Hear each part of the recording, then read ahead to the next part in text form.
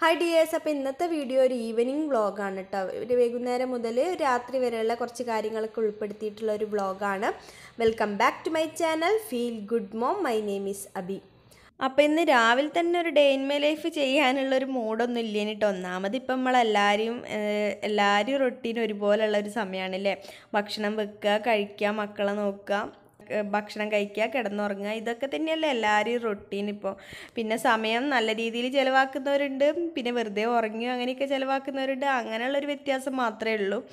അപ്പോൾ അങ്ങനെ പോകുമ്പോൾ പിന്നെ രാവിലെ ഒരു മൂഡില്ലേ ഇനി ഷൂട്ട് ചെയ്യാനും കാര്യങ്ങൾക്കൊന്നും അപ്പോൾ വൈകുന്നേരം ആയപ്പോൾ കുട്ടികളൊക്കെ അപ്പുറത്തുനിന്ന് ഊഞ്ഞാല കെട്ടി കൊടുത്തിനി അടുത്തമ്മ സാരി ഉണ്ട് അപ്പോൾ അതിൽ കളിക്കണ തിരക്കിലാണ് അപ്പോൾ അതിങ്ങനെ കണ്ടേരം ഞാൻ വിചാരിച്ചെന്നാൽ ഒന്നൊന്ന് ഷൂട്ട് ചെയ്യുക ഒരു ഈവനിങ് വ്ളോഗ് ഷൂട്ട് ചെയ്യാമെന്ന് വിചാരിച്ചിട്ട് അങ്ങനെ തുടങ്ങിയതാണ്.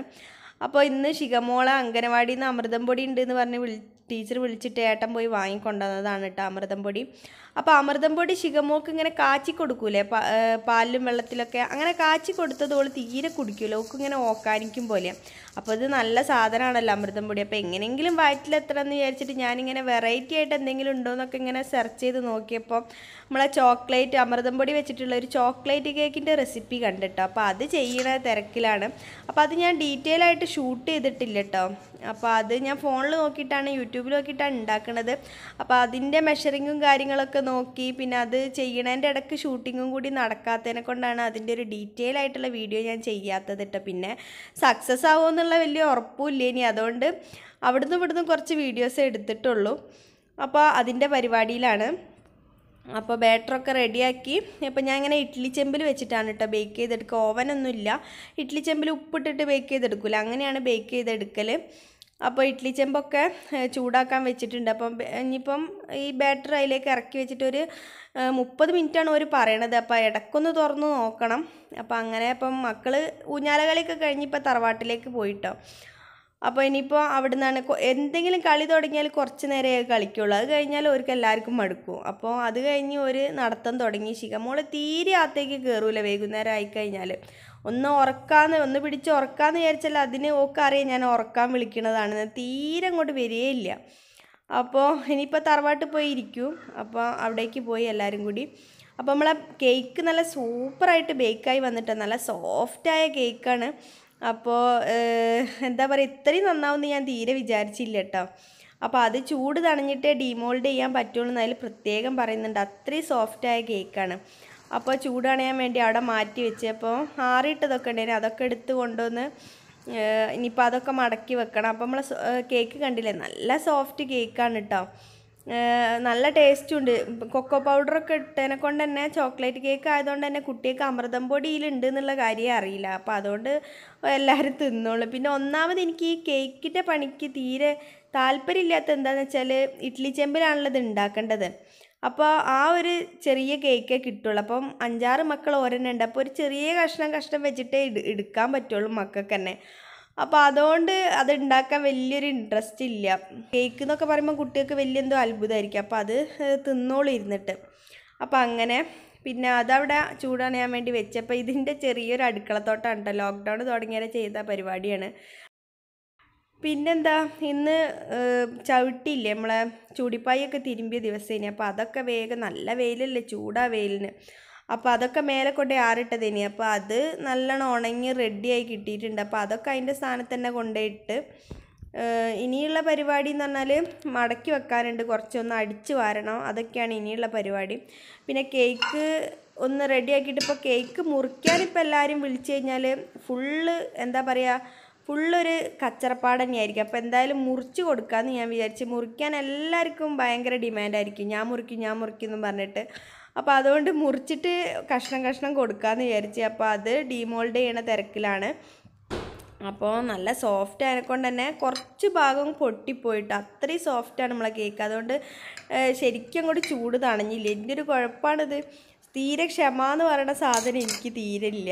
അപ്പോൾ അതുകൊണ്ട് കുറച്ചും കൂടി ഒന്ന് ചൂട് തണയാണ്ട് ഇനി അതിനൊന്നും എനിക്ക് കാത്തു നിൽക്കാൻ നേരമില്ല അപ്പോൾ ഡീമോൾഡ് ചെയ്തേരെ കുറച്ച് ഭാഗം അടിയിൽ പിടിച്ചു പോയി. പക്ഷെ കരിഞ്ഞിട്ടൊന്നുമില്ല കേട്ടോ. നല്ല സൂപ്പർ ടേസ്റ്റുള്ള കേക്ക് ഇനി. അപ്പോൾ ഞാൻ പറഞ്ഞ പോലെ ഇതാണ് ഒരു കുഴപ്പമുള്ളത്. എല്ലാവർക്കും ചെറിയ ചെറിയ കഷ്ണം എടുക്കാൻ പറ്റുള്ളൂ.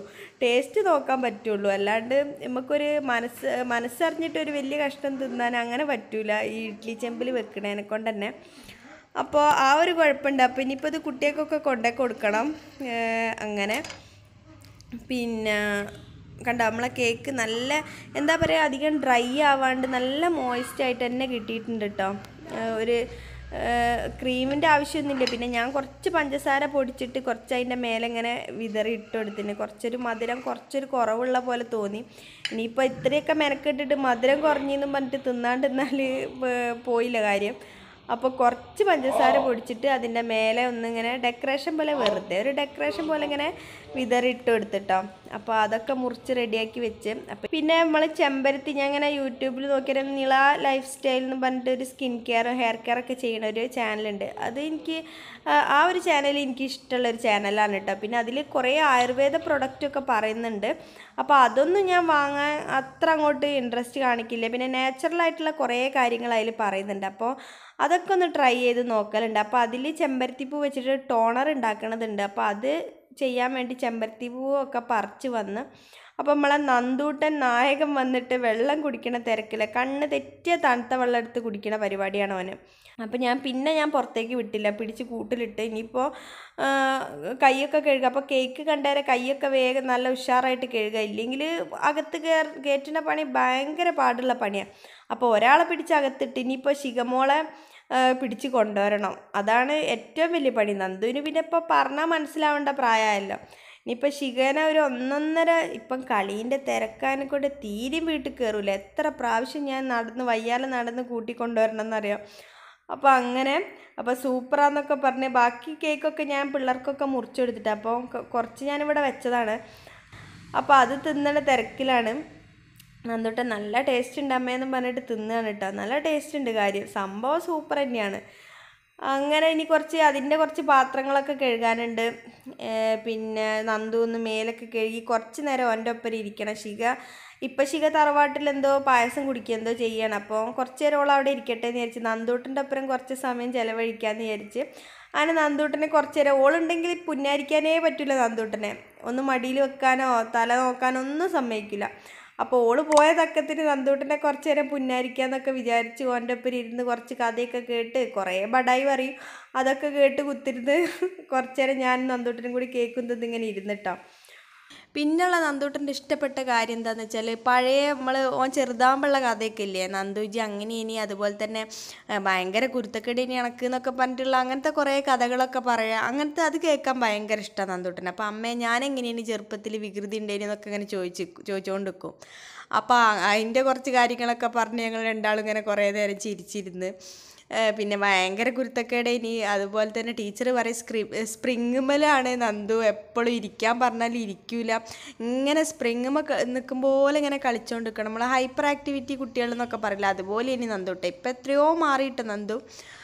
അപ്പോൾ അതൊക്കെ പറഞ്ഞ് കുറേ നേരം അതും പറഞ്ഞിരുന്ന് ഞങ്ങൾ അത് കഴിഞ്ഞാൽ നമ്മളെ വാർത്തയില്ലേ ലൈവ് അപ്പോൾ അത് ലൈവ് കണ്ട് കുറച്ച് നേരം. അപ്പോൾ ഇത് നന്ദൂട്ടന്റെ ഡ്യൂട്ടിയാണ് കേട്ടോ ജനലൊക്കെ അടക്കി ഒരു സന്ധ്യയൊക്കെ ആകുമ്പോഴത്തേക്ക് അതൊക്കെ അടയ്ക്കുക എന്നുള്ളത്.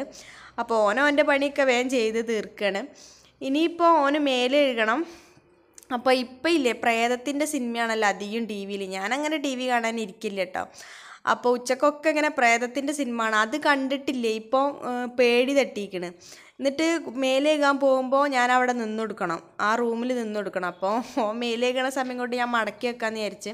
അപ്പോൾ നന്ദൂട്ട മേലേകാൻ കയറി അപ്പം ഞാനിതൊക്കെ ഒന്ന് മടക്കി വെക്കണം. പിന്നെ അലോവേരേന്റെ ഇതുണ്ട് ജെല്ല്. അപ്പോൾ അതൊന്ന് മുഖത്തിടണം. അത് മുറിച്ച് കൊണ്ടേ വെച്ചതാണ്. അപ്പോൾ അതൊന്ന് മുഖത്ത് തേക്കണം. ഒക്കെ മടക്കി ചെയ്യുമ്പോഴത്തേക്ക് നന്ദൂട്ടന്റെ കുളി അങ്ങോട്ട് കഴിയും.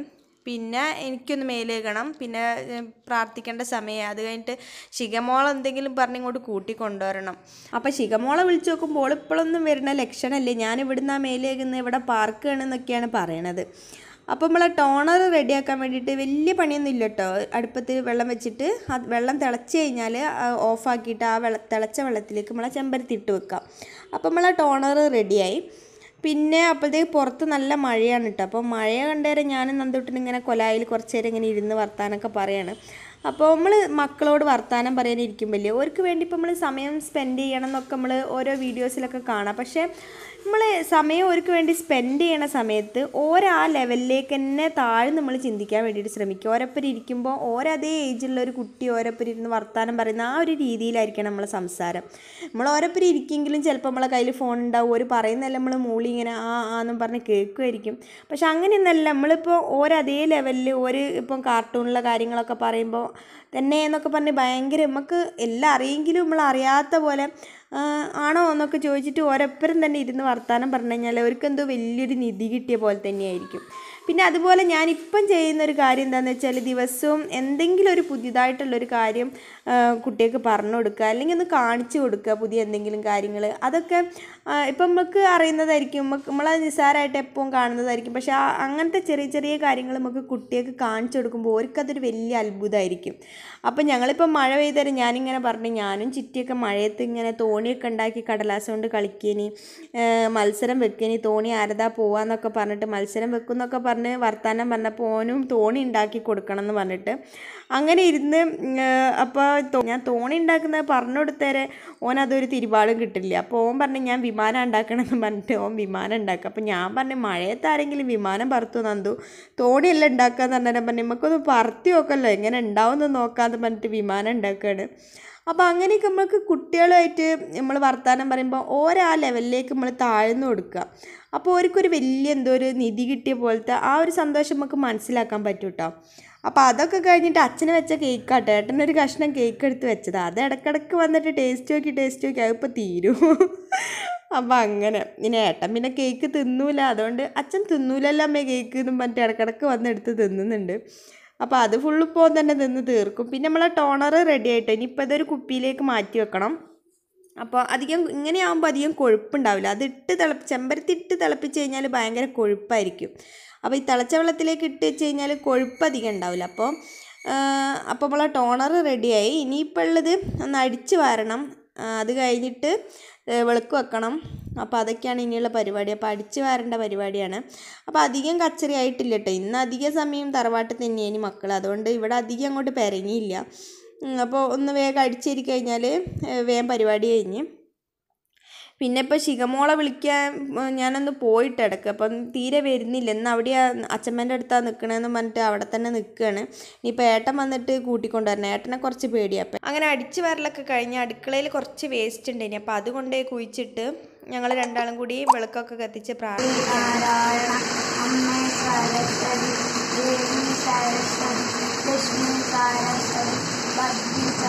അപ്പോൾ ഇപ്പം കണ്ടില്ലേ സമയം ആറ് ഇരുപത്തഞ്ചായിട്ട് എന്നിട്ടും നല്ല വെളിച്ചമാണ് പുറത്ത്. അഞ്ച് മണിയായ പോലെ ഉണ്ട്.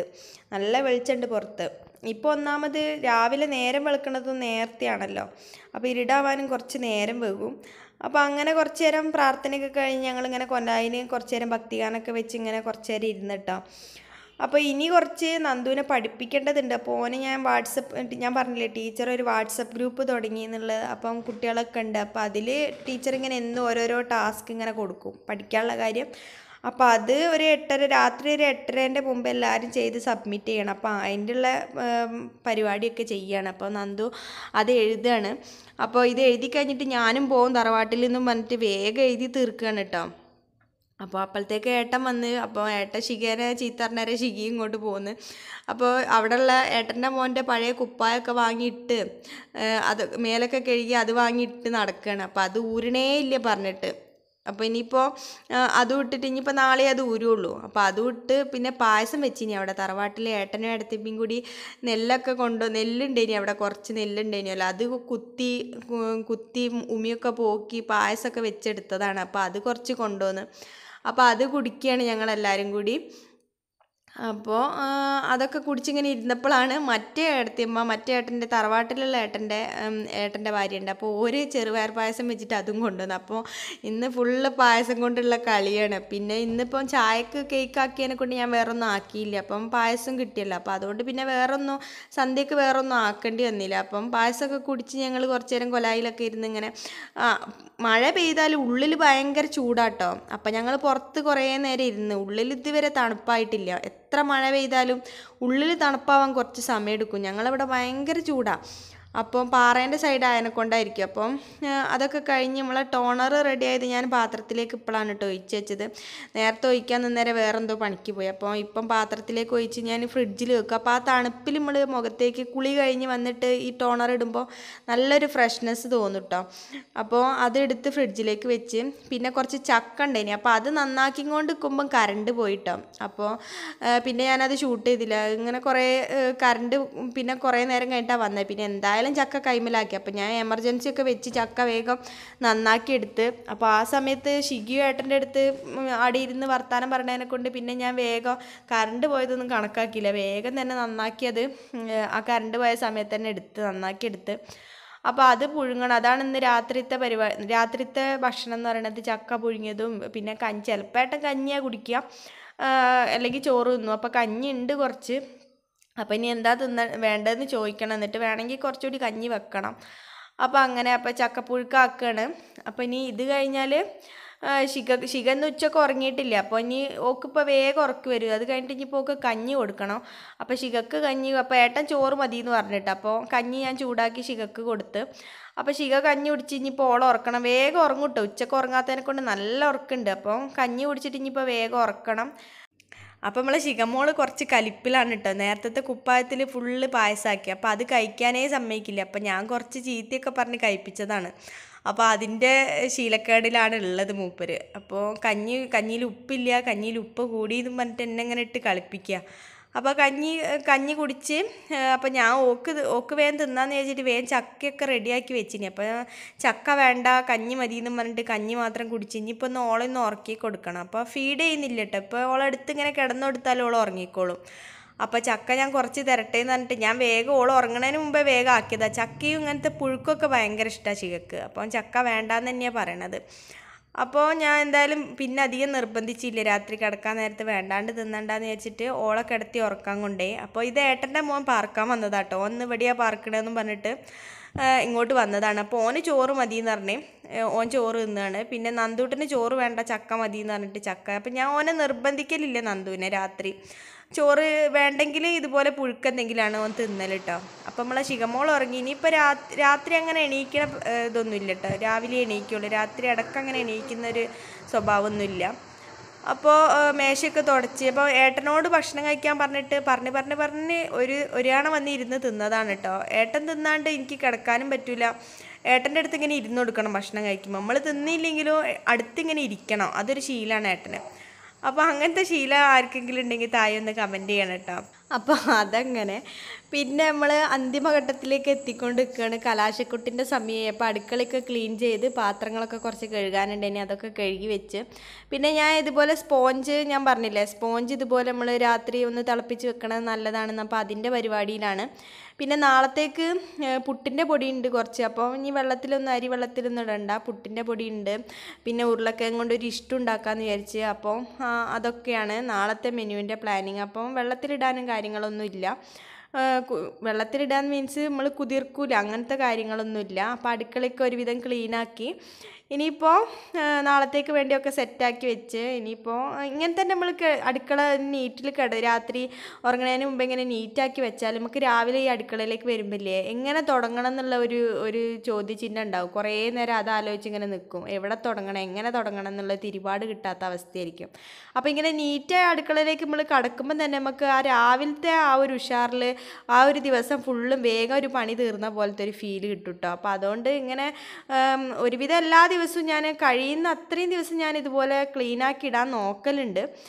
ആ രാവിലത്തെ ആ ഒരു ഇത് ആലോചിക്കുമ്പോൾ ഞാൻ വേഗം തന്നെ ക്ലീനാക്കി ഇടും. അടുക്കളയ്ക്ക് ഇങ്ങനെ നീറ്റാക്കി ഇടും രാത്രി തന്നെ.